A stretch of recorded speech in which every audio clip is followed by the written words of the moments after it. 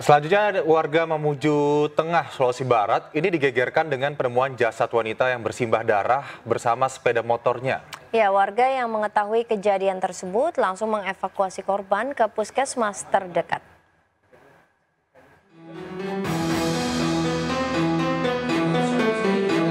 Korban diketahui bernama Jumiati, 36 tahun, ditemukan tewas bersibah darah di pinggir jalan. Dari jasad korban ditemukan sejumlah luka akibat benda tajam di sekujur tubuhnya.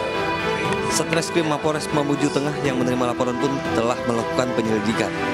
Hingga kini, delapan orang saksi telah diperiksa guna mencari identitas dan motif pelaku pembunuhan. Awalnya diduga oleh yang pertama kali menemukan masyarakat adalah masyarakat. Awalnya diduga adalah korban laka, korban laka lantas.